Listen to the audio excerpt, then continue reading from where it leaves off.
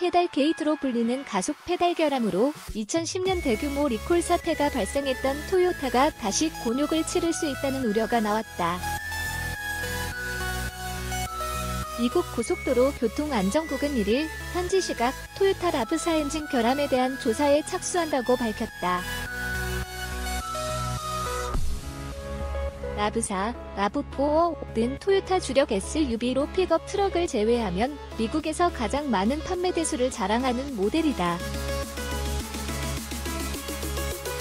NHTSA에 따르면 2013년부터 2018년 사이 발생하고 접수한 11건의 라브사 화재 사고를 조사할 예정이며 대상 모델은 약 190만 대에 달한다.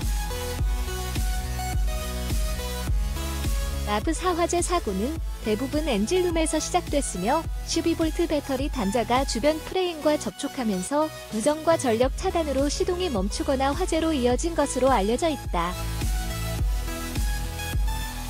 대부분 나부사 화재 사고는 주행 중 발생했지만 엔진이 정지해 있는 동안 화재가 발생한 사례도 사건이 있었던 것으로 알려졌다.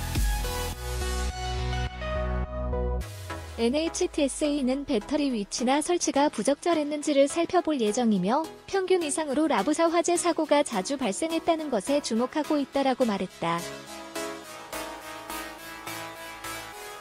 또 당장은 리콜에 들어가지 않지만 조사 결과에 따라 수백만 대가 그 대상에 포함될 수 있다라고 말했다.